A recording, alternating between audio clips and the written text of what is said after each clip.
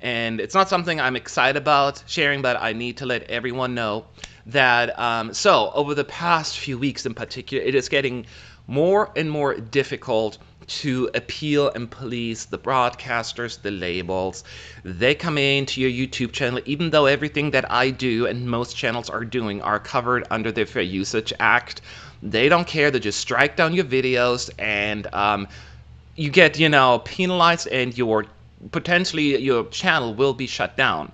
And I just received another one from Croatia and I'm at a point where I'm like, I can no longer fight this because they're the big labels, and even though I'm in the right, I would have to make a plea to them, and then if they don't agree, then I would have to counter, and that could potentially end up in a lawsuit and all of that stuff. And I don't want to go for that. I'm doing this for fun, even and um, so ultimately, I have to make a very unfortunate decision, and the decision is that I will no longer be able to do actual react reaction videos where I watch a clip and react to it live because that's how they strike you down, even if it's just for 15 seconds. The ones I used was 10 second snippets and totally covered under fair use, but the Croatian broadcaster decided, nope, I'm going to strike you down anyway. I will probably win this battle because, you know, I'm in the right, but having to go for this all the time, and sometimes you get several at the same time, and then they could potentially shut down your live streaming. You have the ability to upload videos.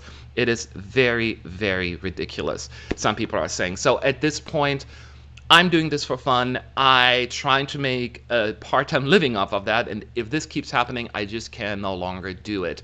And it's unfortunate. I'm very sad. I enjoy doing them, and I know people enjoy them as well. But it's either not doing them or potentially have my uh, channel be shut down, and I don't want that obviously. So I will continue to do the live streams. I will continue to comment on them, but instead of playing my reaction video, we'll just review and comment on them and keep any any potential uh, copyright issues away from it. Um, all we're probably going to use is um, pictures, you know, stills and all of that stuff. And I know a lot of people are probably very disappointed, and some people don't care that you know what. But I can no longer do that, and that is very, very um, unfortunate. So um, I just wanted to throw that out there because um, I saw some people in the chat saying, "Why isn't the Norwegian video up? Why isn't the Port Portugal second semifinal up?" I can no longer do them because I don't want to get any further strikes and um, have to go for this. So I just wanted to be honest.